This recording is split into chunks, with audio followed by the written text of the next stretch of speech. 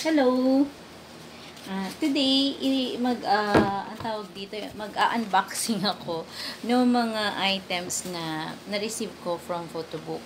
Uh, Photobook kasi is is a printing company based in, based abroad. I think hindi kung hindi ako nagkakamali sa Malaysia kasi doon to pinrint. Pero meron sila ditong office in the Philippines. And recently nag ano ako, nag-order ako sa kanila ng ng mga prints uh, ng photo book at ito, ang mga in-order ko sa kanila, ini-expect ko ay photo pillows, desktop plaque, luggage tags at saka ayun, photo book nga. Maganda gamitin yung ano eh, yung app ng photo book. Madali lang siya gamitin. Madaling mag-upload ng mga photos. At actually nakaka-addict nga eh, addicting yung yung website nila. Uh, take note, yung app is different dun sa desktop na ano na na application, yung software nila. And kapag nag-check ako nung order ko dun sa app, dun sa mobile app, hindi ko nakikita yung order ko na ginawa ko dun sa desktop. So, yun. I-take note nyo lang yun. Na magkaiba siya. I don't know kung bakit ganun yung system nila. Pero, magkaiba siya. So, kung o-order ka, meron silang mga item na na-order lang using the app. Meron din sila mga item na na-order doon sa desktop. For me, mas maganda umorder doon sa desktop kesa sa app nila. Yun. So, ito. Nating patagalin. Excited na rin kayo makita kung anong laman ito. Uh, maganda yung pagkakasil nung product. Ayan. Ay. Yun. So, dalawa na rin pala yung nakuha ko. Yung isang malaki at saka isang maliit na photobook. Pinagsama na nila.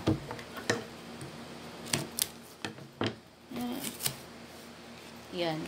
This one, ito yung maliit na photobook. Ito yata yung 5x5. I'm not sure, pero ito yung pinakamaliit na na photobook na uh, available doon sa site nila. And this one, ito yung medium. Oh, di ba ang ganda? Star Wars theme. Meron din dito sa likod. Ayan.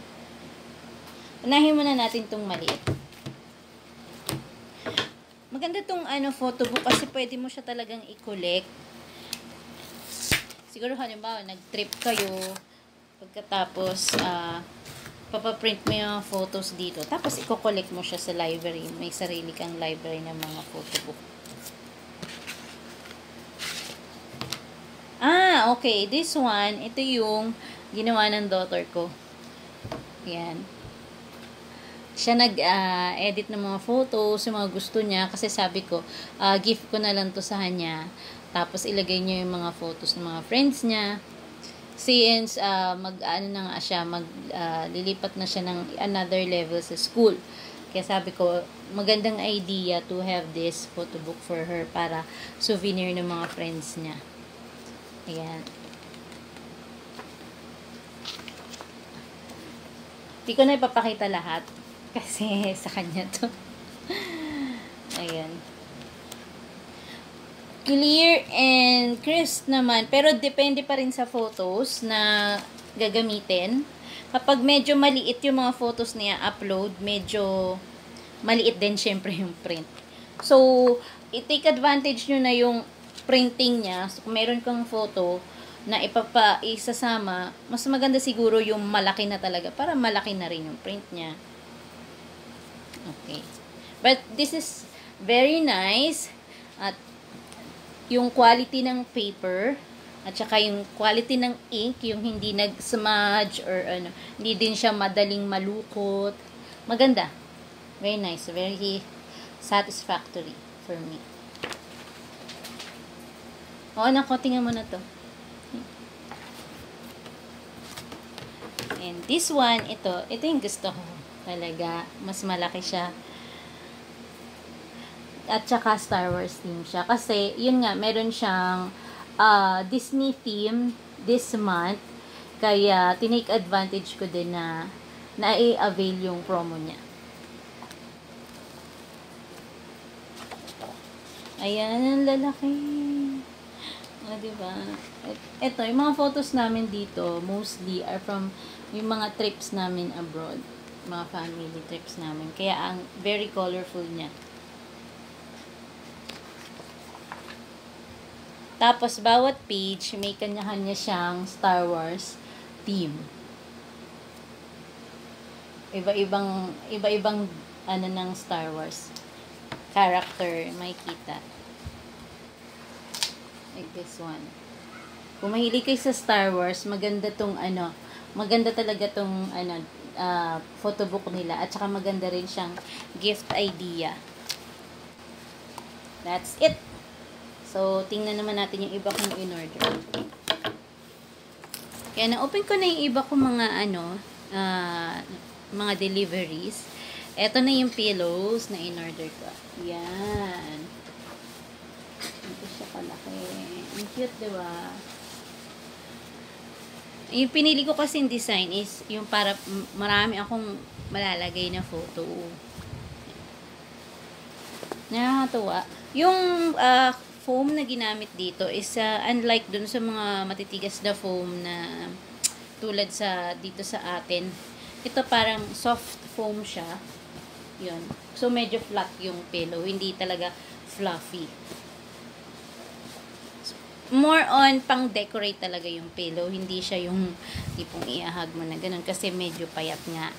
Or hindi naman ganun ka-fluffy. Pero, in fairness, maganda yung pagkaka-print. Mag enjoy kayo sa pagtingin sa mga photos ninyo nandun sa pillow. Tapos, siguro, kunyari, uh, magpapaprint kayo ng someone you love, na gusto nyong hinahaghag, na ganyan, ayan, okay yan. And then, meron din akong tumbler na in-order. Ito, Spider-Man naman. Para naman sa husband ko. Tapos, makakustomize mo rin siya. Siyempre, ayun, pinalagyan ko ng name.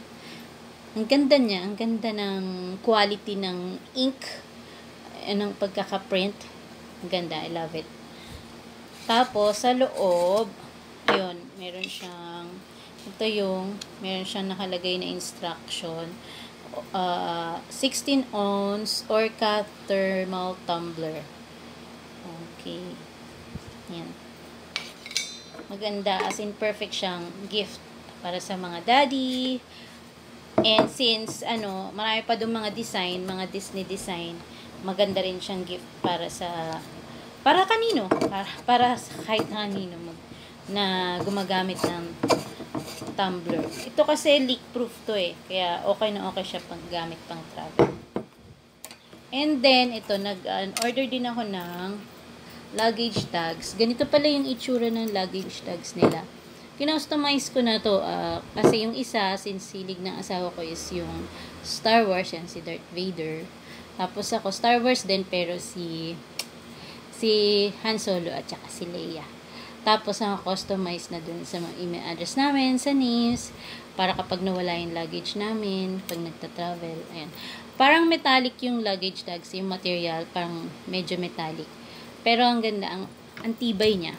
Tapos, kasama sa kanya is a leather, leather na na tali, na ito yung pinaka magiging tali niya dun sa ano, sa luggage ninyo. Ayan. Ang cute. Wala pa ako nakitang ganitong klase dito. Dito sa store sa atin. Ang ganda rin niya. I don't know kung yung itong ano, strap is nababago, nakakapili ng kulay. Pero this one's black. So, okay siya kahit na anong color ng luggage mo. And then, lastly, umorder ako ng desktop plaque kaya lang, ayun, ano, hindi ko alam kung paano ko ilalagay yung stand. Hindi ko alam kung uh, mali lang yung stand na nabigay. Pero ang ganda pa naman sana niya. Kasi ano, ang shiny niya, parang fully laminated. Ayan. Tsaka ang ganda ng pagkakaprint. Tuwan-tuwa ako. Kaya lang, yun nga lang. Hindi ko alam paano ko to papatayuin. Siguro, hahanap na lang ako ng kakasyang stand para dito o kaya iyahang ko, hanap na lang ako ng way. Pero, uh, I'll try din na kontakin yung customer support nila. Baka hindi ko lang alam pa paano ilalagay ito. Pero definitely, pag tiningnan mo yung likod, hindi ko alam pa paano ko ikakabit. Ito. Ayan. Overall, satisfied naman ako dun sa mga na-order ko sa photobook. Maganda yung quality niya. Masasuggest ko talaga. Ma-recommend ko sa inyong lahat na kumuha ng mga gift items dito at magpa-print ng mga photos sa photobook. Ayan. At saka, i-check out nyo rin yung mga iba pa nilang offer kasi meron pa sila doon mga t-shirt. As in, lahat ng pwede i-customize. I think nandun na sa website nila. I hope na marami kayo natutunan dito sa unboxing na to. Thank you!